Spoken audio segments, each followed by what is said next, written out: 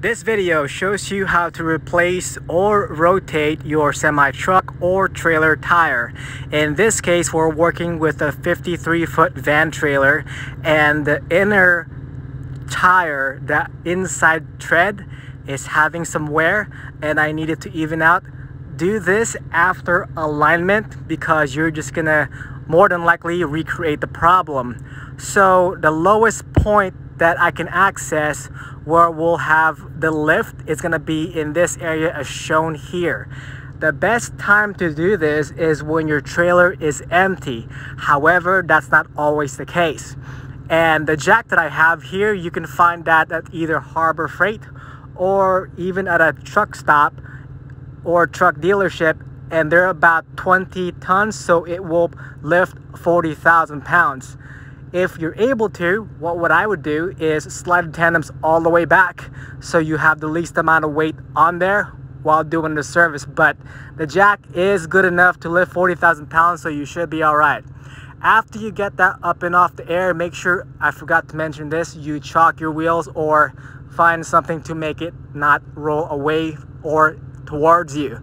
So what I'm doing now is loosening the air lines and you're going to want to pay some super close attention to this. So the hub cover or the seal, the green part, you can remove it if you're scared of possibly hitting it, which is made out of plastic, so it is a high probability, especially if you've never done this. But I've done this on other trailers before, so I know what to expect.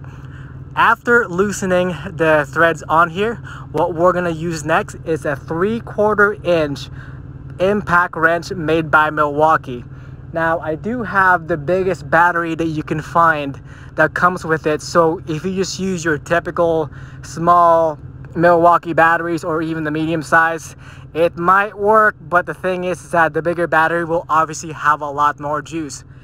And it really is a breeze to take all these off with this tool no special muscle needed off of this so what's up next is we're to use the pry bar. The pry bar will give you leverage especially if the hub is frozen with the rim.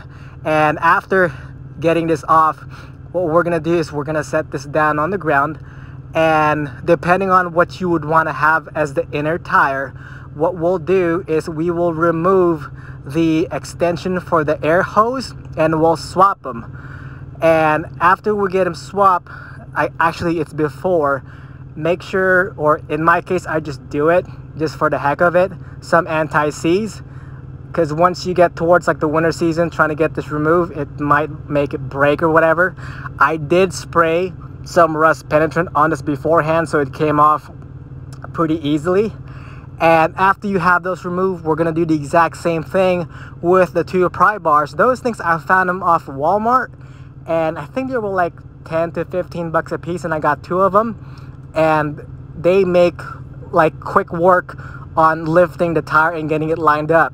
And as you were able to tell to get this thing lined up, all I did was play with the pry bar and make it move one way so that way I can get it to turn and after you get everything set, make sure that you hand tighten all of the lug nuts one piece at a time. And once you know for sure that it's threading on there pretty good, my Milwaukee has four impact settings from one all the way through four to the one key. So start with the one setting and get it seated all the way around. So just like with any other tire installation, there is a torque pattern you can look it up online in this case i do crisscross in a way that's like every other lug and after from one i move to three and then four. I also reconnect the hoses to the hub afterwards. And again just for the heck of it i just put some anti-seize on there. And hopefully that is helpful for you. If it is give it a thumbs up and thanks for watching.